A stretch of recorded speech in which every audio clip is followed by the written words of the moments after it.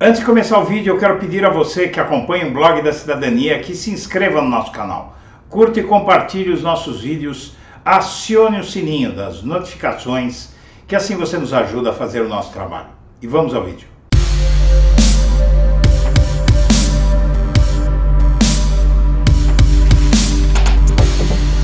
Bom dia, senhoras e senhores. Hoje é 5 de maio de 2023, são 8 horas da manhã.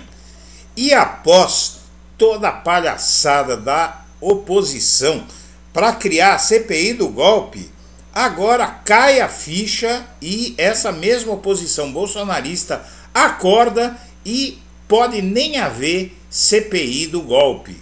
O governo faz reunião de avaliação, mas a oposição já sabe que vai ser um tiro no pé diante dos fatos novos decorrentes da ação da Polícia Federal por ordem de Alexandre de Moraes e também do fato de que o governo montou uma poderosa tropa de choque para resolver o problema naquela CPI.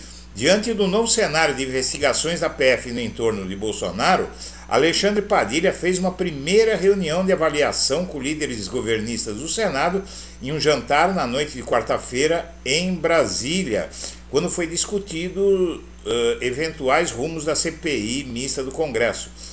Um dos consensos do jantar, segundo participantes, é o de que a CPI mista do golpe pode sequer ocorrer.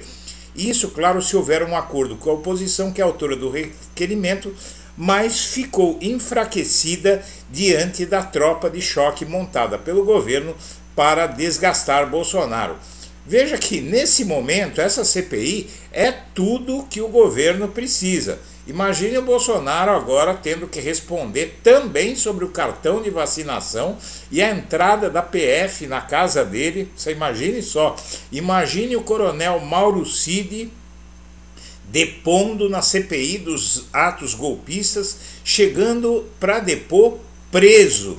Então, Aí é que está, quando a esperteza é demais, um velho dito popular brasileiro, quando a esperteza é demais, ela come o dono.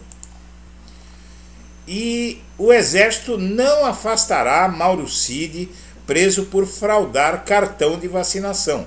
Mesmo preso, ele vai continuar no cargo e recebendo os proventos. Preso na última quarta-feira pela Polícia Federal, o tenente-coronel da ativa Mauro César Barbosa Cid, ex-ajudante de ordem de Bolsonaro, terá uma dor de cabeça a menos. O Exército não vai afastá-lo das suas funções.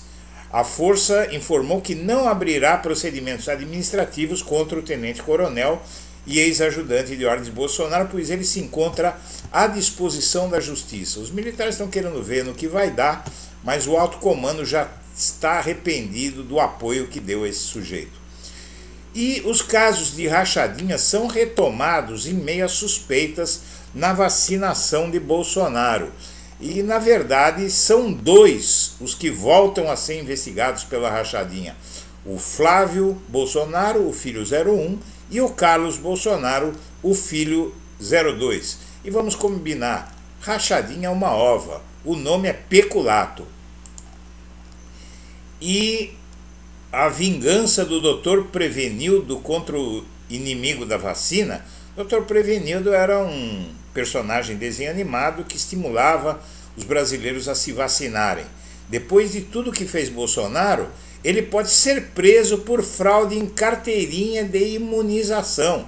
Essa é a vingança do Dr. Prevenildo que representa a responsabilidade de um país, de uma nação para com seu povo e a punição a alguém que está fazendo voltar a paralisia infantil e outras doenças erradicadas no país por convencer a população a não se vacinar.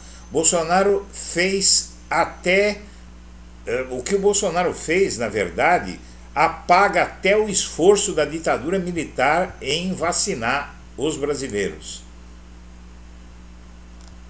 E o plano do partido de Bolsonaro para frear Alexandre de Moraes era prendê-lo. A cúpula do PL elaborou uma proposta de emenda à Constituição para tirar as investigações das mãos do ministro Alexandre Moraes e depois prendê-lo. E esse plano para prender Alexandre Moraes volta à tona após o cerco da PF. A prisão de Mauro Cid, ex-ajudante de ordens de Bolsonaro, reavivou o plano da ala ideológica para prender Alexandre de Moraes. E esse plano, que ficou muito claro nas conversas do Mauro Cid, tudo isso pode complicar muito a situação de Bolsonaro. E o acesso à terceira via está interditado em São Paulo porque o PSDB tem dificuldade em se renovar. E na verdade o PSDB está morrendo, está agonizando devido a décadas de erros. Tudo começou quando, em 1994, Fernando Henrique Cardoso fez com que o Partido da Social Democracia Brasileira se mancomunasse com o PFL, que era o partido mais corrupto do Brasil. E o, o presidente da CNBB, Dom Jaime Spengler, critica o conservadorismo hipócrita do povo brasileiro e esse espírito carola da nossa população todinha voltada para fanatismo religioso, todinha em parcela de 90% é, ligada ao fanatismo religioso. E o Barroso autoriza acesso da Polícia Federal a provas da CPI da Covid. Aí a coisa vai ficar bem complicada para o Bolsonaro e para a turma dele, porque há uma miríade de provas na CPI da Covid que agora podem ser aproveitadas e a nada amistosa reação de Bolsonaro ao receber os agentes da PF em casa. Ele esbravejou saber que teria que depor às 10 horas da manhã do mesmo dia após a operação. E por fim, o Dallagnol fica espalhando fake news sobre o PL das fake news, dizendo que vai proibir a liberdade religiosa, quando, na verdade, o que o PL pretende é proibir a homofobia que já é proibida por lei. E, na verdade, esse é, expurgo da Lava Jato, não é? esse soluço da Lava Jato, que são Dallagnol e Moro, fazem o que sempre fizeram, mentir. Senhoras e senhores, nós agradecemos a atenção e estaremos de volta ao meio-dia.